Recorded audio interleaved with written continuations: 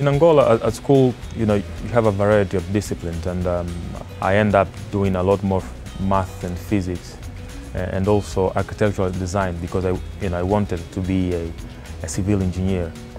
But two years into, into the university, an opportunity came to actually do geology um, in Aberdeen, uh, which I did. Uh, so I lived in, in Aberdeen for years doing um, you know, a degree in geology and petroleum geology.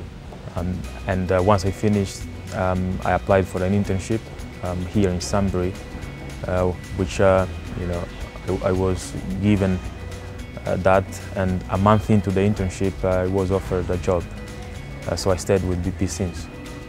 As a field geologist, uh, I'm involved in a very early stage of planning any well, but I didn't realize just how much planning was involved until I joined the Iraq team when we worked in a project to actually scope out uh, the Rumaila and the Zubair fields.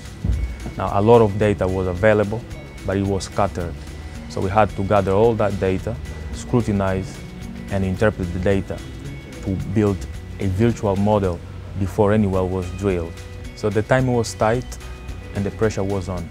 So the team had to work very efficiently as one team in order to get all the data and all the evidence because we knew that the recommendation we would make to the management would change the course of BP within the region.